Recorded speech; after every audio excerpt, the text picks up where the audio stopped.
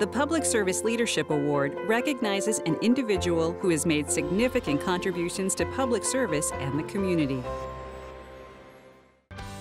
Craig Saddlemire came to Bates College as a freshman in 2000 and has never left. Since his senior year at Bates, he has thrown himself into the community, working hardest to create the renaissance that downtown Lewiston and our communities are experiencing today. During his senior year in college, Craig started a community recycling program called Spokes Folks, which helped connect children and adults with bikes that they salvaged and repaired together.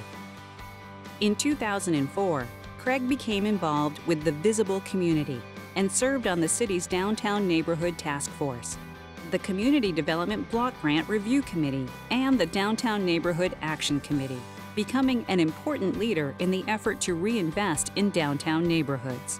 In 2007, Craig and three friends founded Maine's first housing cooperative. Also, through his business, Round Point Movies, he has offered video production services on a sliding scale to nonprofit organizations and community groups. He has also brought many local and internationally recognized filmmakers to the area and produced the Maine Video Activists Network, which documents grassroots and social justice efforts around the state. Most recently, Craig represented Ward 5 on the Lewiston City Council, serving on numerous committees.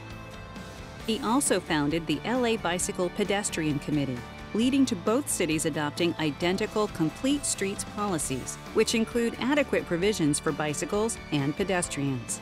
Craig can be seen riding his bike in downtown Lewiston in all types of weather, in all seasons. He is a model of making downtown a special place to live and work.